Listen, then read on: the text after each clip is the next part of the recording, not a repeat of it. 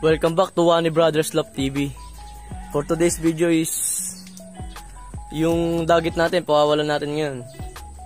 Saka may bad news tayo mga kalipad. Meron tayong isang ibon na naserga. So bali silipin natin muna rito. Saka yung dagit natin.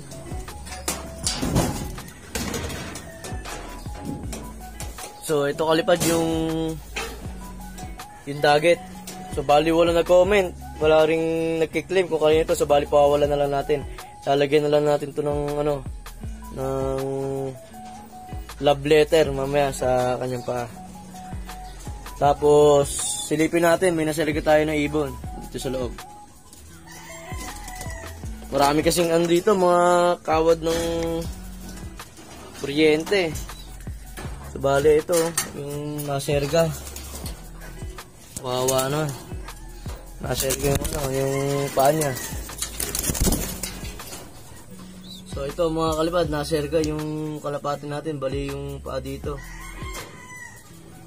Wala hindi naman siya tama ng tirador kasi kung tama ng tirador, meron ka makikita na mapula dyan. Mapula dito. So bali, ito, yung tinamaan sa kanya, siguro nasabit tong singsing ito. Marami kasing kawad ng ano rito, ng kuryente. So yun lang mga kalipad, kawawa naman. Hindi naman to palaro, naka ano to, naka personal ring ni Sir Michael Moleño. Bigay sa atin to, gagawin natin stock bird. Ginamit lang, ginawa lang natin, binatcher lang natin, pinalipad-lipad natin ng konti sa kay stock na natin ito. Wawa. Wawa mga kalipad. So mamaya, i-gagawin natin ano yan, iduduktungan natin. Kumbaga, si surgery natin. Bago yon itong dagit natin, ito, ito, Makakawalan na natin to. Lalagyan natin ng love letter. Pero, magpaparonda muna tayo.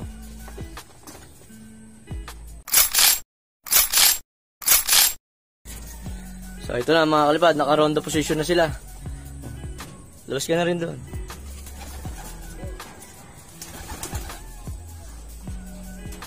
Ronda position na yan sila. Bali, pawawalan natin sa release doon.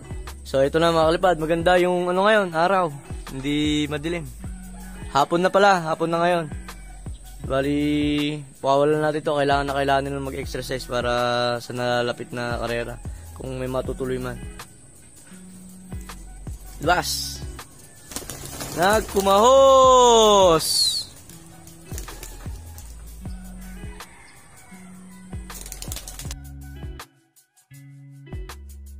Mga kalipad. Oh, meron pa pala na uli.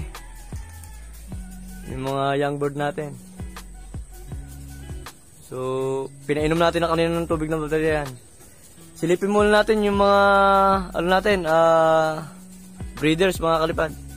Kaya muna natin silang magliwaliw dyan sa uh, ere. So, ito, yung mga ibon natin. May buwelo na sila. Ayan o, oh, may buwelo na sila. Sana lumayo, mag-raging sana. Silipin muna natin yung mga breeders, mga kalipad. So ito yung mga breeder natin, mga kalipad. Ito muna tayo sa baba. So bali ito, may itlog na yung ano natin, yung Terminator, dalawa na itlog niya, saka itong ano. Uh, so bali ililipat natin itlog na yan. Payayaya natin dito yan sa forever yaya natin. Ito, may linyada na niya kaya lang. Naitoy kasi yung naitoy kasi yung paris niya. Ayan yung paris niya.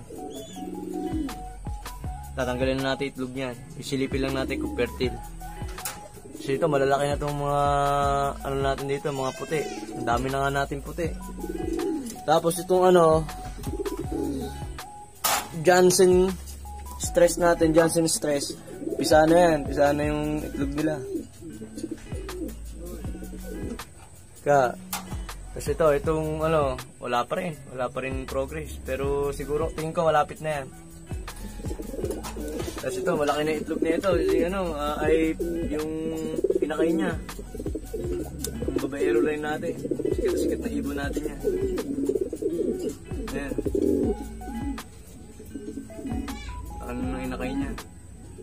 Kamukha yata ng ano, ng Tatay, sinilip ko kanina, white plate, may white plate yung pack. Tapos itong wantay natin, hindi na natin pinaris kay Lolo. So, bali dito na natin pinaris sa... Sa ano, Saragosa bird natin. Dito yung wantay natin. Ang hirap ng parisa na itong wantay na to. So, bali, hirap na hirap kami parisa. Yan, yan. Ganda, ang ganda ng ano niyan, ang ganda ng kondisyon niyan. Ganda ng katawan, bilog na bilog. So bali hinihintay lang natin pumaris dito yan. Ayaw kasi pumaris kay Lolo. Siguro matanda na, naghanap ng guwapo. So balik tayo doon mga kalipad.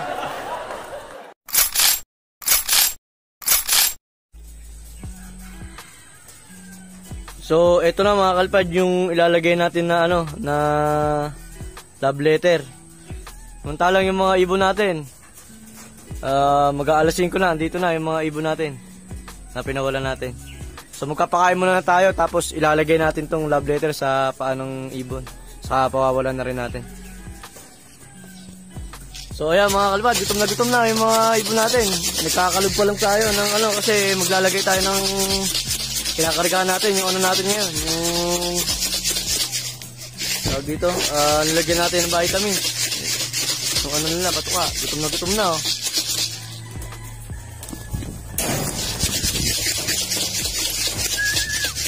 Hindi pa kasi nakabukas yung double door, ayos muna natin dito sa loob. So ayan, pakapasukan natin sila mga kalipad.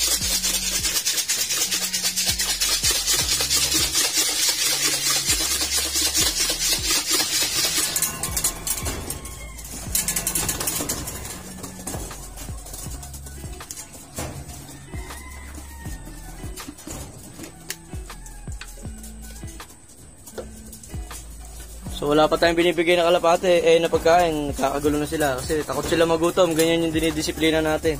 Maganda yung ganyan para madali silang tawagin. So yan na mga kalipad, una-una na silang tumuka. Yung mga nasa taas na ayaw pa pumasok, matitigas ulo, magugutom yun. So mamaya na lang mga kalipad, magkapakain muna ako, saka kapakawalan na natin yung dagit.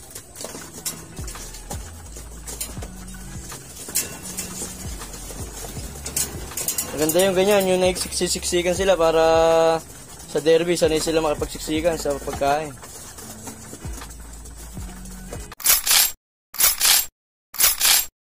So, ay mga kalipad, i-ginawa natin ng paraan para, ano siya, dumikit. Ino natin, lagyan natin ng kahoy.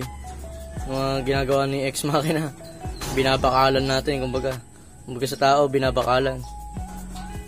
Sana, mo effective.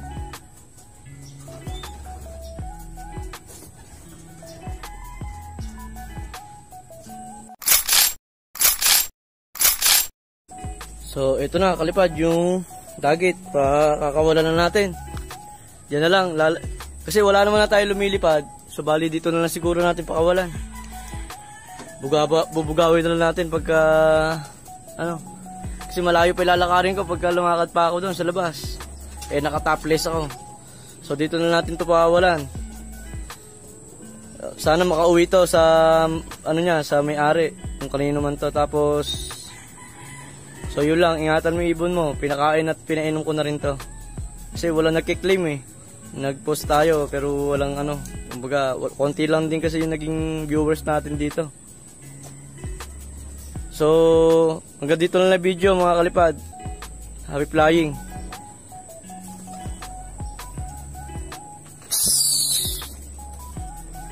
So ayun, bubugawin na lang natin to mga kalipad.